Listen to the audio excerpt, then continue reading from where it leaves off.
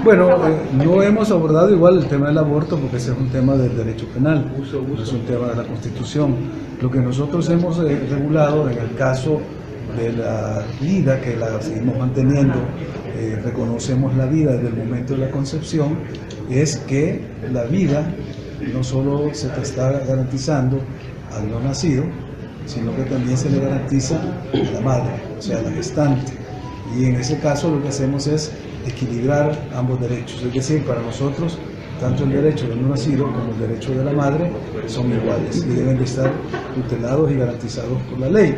En caso de que hubiese un conflicto en ambos derechos, la ley lo va a resolver. O sea, pues que ahí queda dividido por la ley la situación de conflicto. ¿Por qué eso tiene una importancia práctica? Porque por hoy, si hay un conflicto entre la vida de la madre y la vida del no nacido, eh, la ley no permite, por ejemplo, que se termine la vida del no nacido para garantizar la vida de la madre. Eso es lo que se llama un aborto.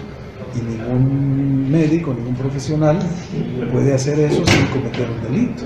Entonces, al poner en iguales condiciones ambos derechos y al haber una colisión, ya la ley determinará cómo se resuelve y ahí resolvemos ese problema. ¿Y el tema de la eutanasia? La eutanasia no está contemplada como tal, o sea, no es que tenemos derecho a quitarnos la vida o que nos quiten la vida, sino que se está garantizando el derecho a una muerte digna, como dice la, la doctrina y el derecho comparado, cuando se han agotado las, eh, digamos, posibilidades científicas, médicas, y la persona tiene la decisión de ya no poder seguir en una condición crítica, eh, la ley le tiene que habilitar esa posibilidad, porque también igualmente ahora eh, hacer o practicar la eutanasia, por lo menos en nuestro país y en muchos países de la comunidad internacional, es un delito. Entonces, para poder regular y dejar esa posibilidad para casos extremos, es que se está abriendo esta posibilidad, pero no está regulado en la Constitución, sino que